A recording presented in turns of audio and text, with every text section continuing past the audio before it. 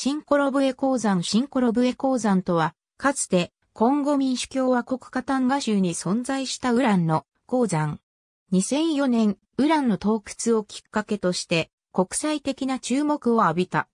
シンコロブエ鉱山は、ユニオンミニエール社によって開発され、1960年代までは世界有数のウラン鉱山だった。マンハッタン計画時にはここで採掘されたウランがアメリカ合衆国へと提供され、原子爆弾が製造された。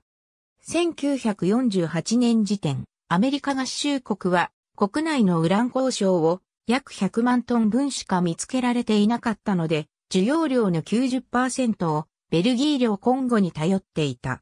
近郊のクズ港、低品位のリン酸鉱物、血岩の3つから回収される8酸化酸ウランをポンドあたり30から40ドルで購入していた。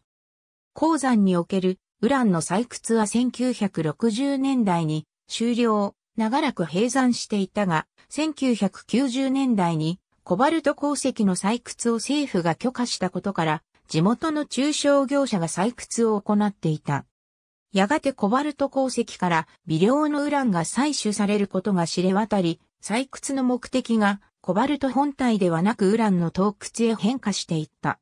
2004年3月、コンゴ政府が首都のキンシャサ市内で 100kg にも達する大量のイエローケーキを押収した。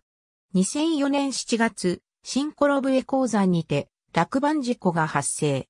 8名の死傷者を出したことがきっかけで、同鉱山にてウランが採掘されていたことが露呈する。今後政府は立ち入り禁止を決定。富士銀行調査部、調査時報1958年3月号、P30、 UNEP 今後ウラン鉱山事故後の環境影響調査を実施2011年1月8日閲覧。UN アセシーズ、ウラニウムマインデモクラティックリパブリックオブコンゴ2011年1月8日閲覧。ありがとうございます。